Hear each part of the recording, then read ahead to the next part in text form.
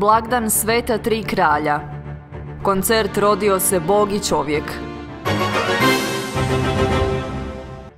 Obilježava se blagdan Sveta Tri Kralja ili Bogojavljanje, jedan od najstarijih katoličkih blagdana kojim se crkva prisjeća događaje opisanih u evanđeljima, kada su tri mudraca s istoka prateći zvijezdu Repaticu došla u Betlehem pokloniti se novorođenom Isusu.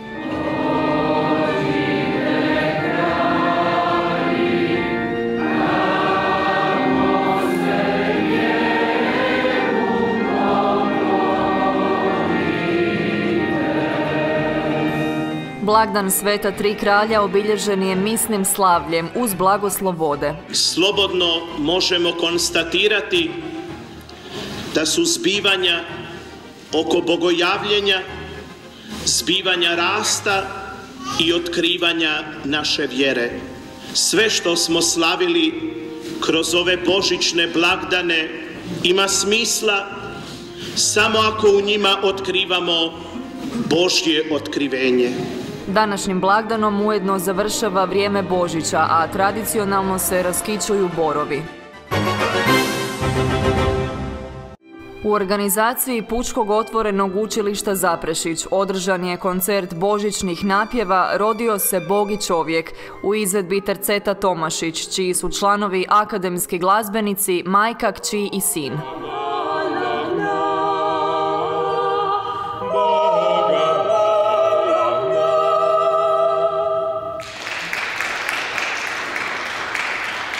Divna umjetnost koja nas oplemenjuje, pa svi zajedno smo doživjeli rođenje Isusova.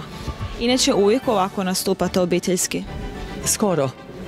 Svaki put, svake godine za Božić. Nešto predivno, nešto iz raja, što, što samo anđeli mogu. Ovo nije bilo obavješteno, žao nam je, sigurno bi bilo puno više ljudi. Građani danas raskičuju borove i odlažu ih u smeće, a za njihov odvoz i zbrinjavanje zaduženo je komunalno poduzeće Zaprešić.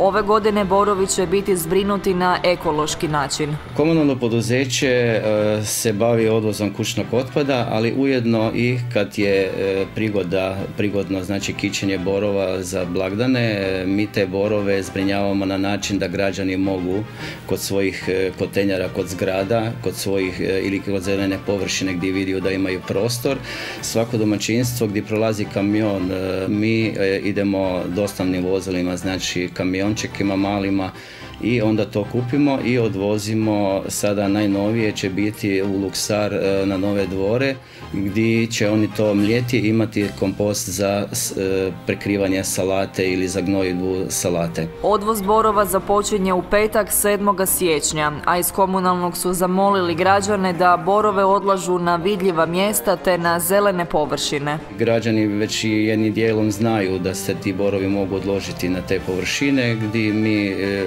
bi zamolio da dostave tamo gdje su na dohvat e, da ne stavljaju negdje u nekakve prolaze, da se ne vide i da ne remete ili baš da ne ovoga, nakazuju zelene površine. Znači na jednu hrpu kad vidio da neko stavio jedan bord dva, da se i drugi građani ovoga prilagode tome, da s čim više ima hrpa, da to nije sve razvučeno po zelenoj površini. 7. siječnja u crkvi Svetog Ivana Krstitelja u 19 sati održat će se tradicionalni koncert u organizaciji Zbora mladih Stijene. Od 8. do 26. siječnja svake subote u Shopping City u Westgate s početkom u 17 sati održavat će se predstave za djecu najljepše priče na pozornici. Predstave su namenjene djeci od 4 do 10 godina starosti i za njih su besplatne.